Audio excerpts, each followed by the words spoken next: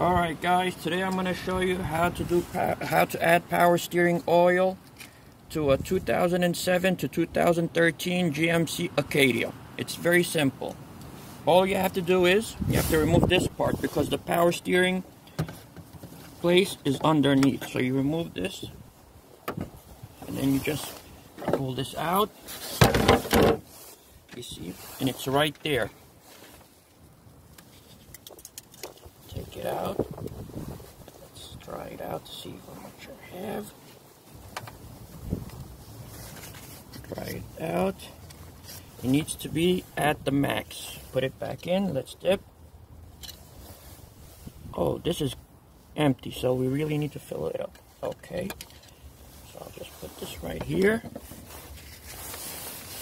And I'll add this, because I don't want to drop any.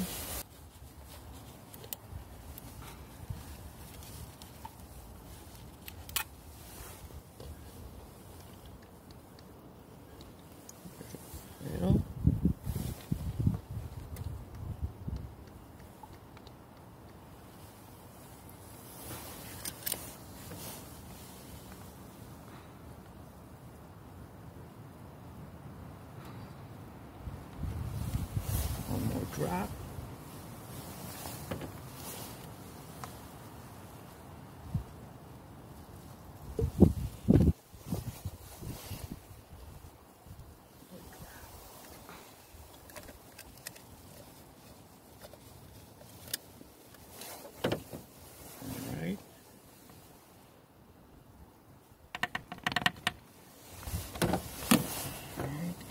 Let me dip it back in, see how far we got and that's oh getting all over the place.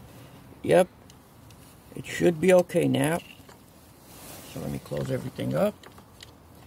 I made a mess but it's okay.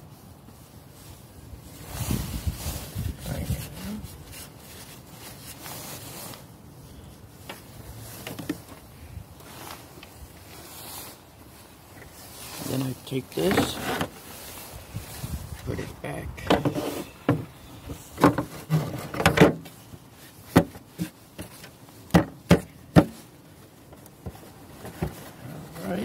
That's all, folks. It's very simple. That's where the power steering fluid is. Alright, thank you so much for watching my video. Please be sure to subscribe for more information about cars.